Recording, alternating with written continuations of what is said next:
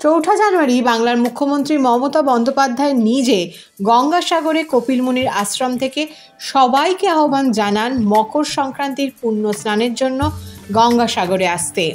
জানান, বাংলার পুলিশ ও প্রশাসন গঙ্গাসাগরে পুণ্য স্নানের জন্য তৈরি।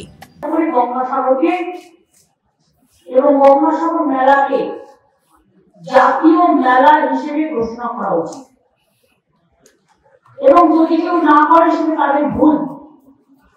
আজ না হোক, কাল তো করতেই হবে। শুক্রবার থেকেই গঙ্গাসাগরে চোখে পড়ল পুণ্যার্থীদের ভিড়।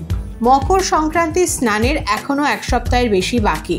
কিন্তু দেশের বিভিন্ন প্রান্ত থেকে মানুষ সেখানে ভিড় জমাতে শুরু করে দিয়েছেন।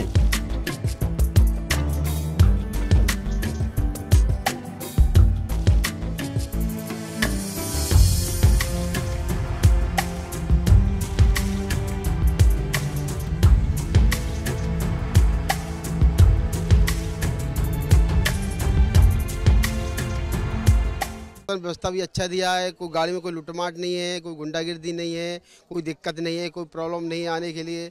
आदमी अच्छे से बताता है कहाँ जाना है, आपको बिल्कुल अच्छे से समझाता भी है कि यहाँ से यहाँ पहली बार आए हो, यहाँ से यहाँ चले जाओ। यहाँ व्यवस्था आपको अच्छी रहेगी, आश्रम भी यहाँ है, रहने की व्यवस्था भी अच्छी है। बस में भी अच्छा सफ़र हुआ हम लोग आने के लिए मतलब कोई गुंडागिर्दी नहीं है व्यवस्था बहुत अच्छी प्रशासन की यहाँ बहुत अच्छी है, प्रशासन भी अच्छा है और जो यहाँ का जो लोग भी हैं, बहुत अच्छे हैं। रास्ते भी बता देते हैं कि इधर नहीं, उधर चले जाओ।